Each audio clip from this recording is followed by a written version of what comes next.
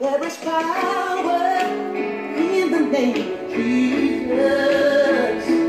There is power in the name of Lord. There is power in the name of Yeshua.